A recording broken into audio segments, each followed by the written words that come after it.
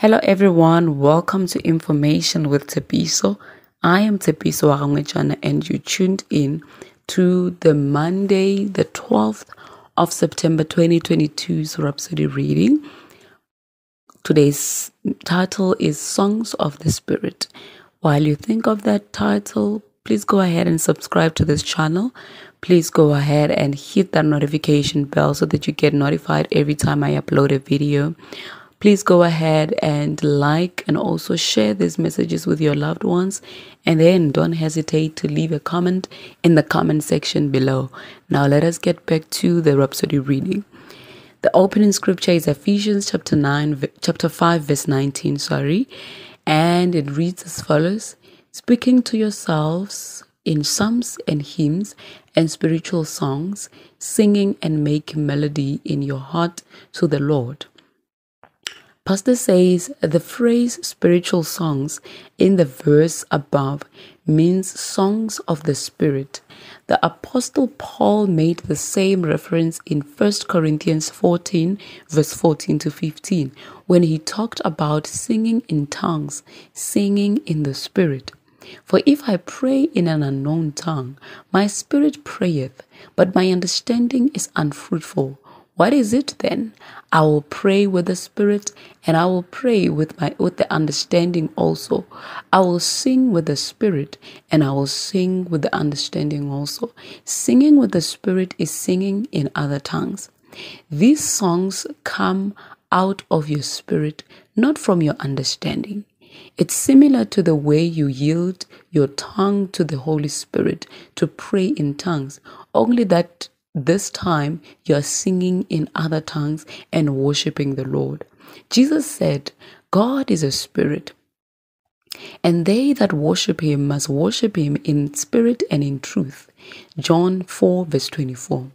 Worshipping in the spirit is the climax. Oh, hallelujah. You may sing and worship the Lord in your understanding, and that's okay. But ascend higher Sing songs of the Spirit from your spirit. Oh, worship and relate from your spirit. It's a deeper fellowship. Your songs of the Spirit are songs of worship and praise to the Lord. Those listening to you may not like the tune or melody, but it makes no difference. You are not singing to them, you're singing to the Lord. You're making melodies of worship to the Lord, just as praying in tongues isn't unto men but unto God. We see that in 1 Corinthians chapter 14 verse 2. Worshipping in the Spirit brings about a divine exchange. As your spirit passes words in the Spirit to God, the Holy Spirit imparts information to your spirit.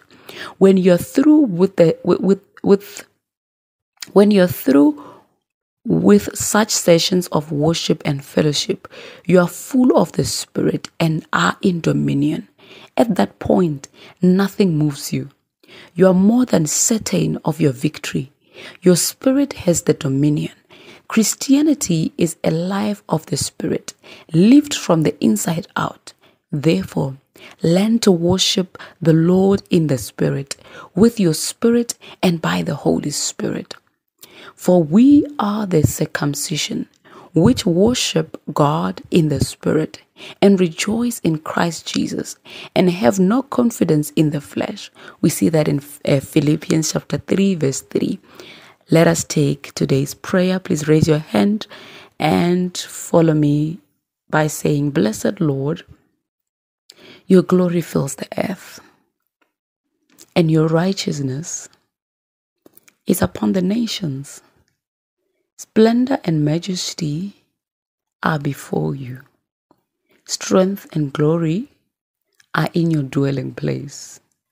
You have beautified my life and anointed me to proclaim your love, your mercies, and your grace. I'll sing of your love forever and of your faithfulness that's ever sure. Blessed be your name forever. Further studies, we read John chapter 4, verse 23 to 24 with the AMPC version, and Psalms chapter 150, verse 1 to 5, First Corinthians 14 verse 2. If you're on the one year Bible reading plan today, we're reading Second Corinthians chapter 11 verse 16 to 33 and Ecclesiastes chapter 1 to 2. And then if you're on the two-year Bible reading plan, today we're reading First Timothy chapter 1 verse 1 to 7 and Jeremiah 30. Ladies and gentlemen, thank you for tuning in. Let us meet tomorrow with tomorrow's message and have a beautiful day. This is information with Tshepiso.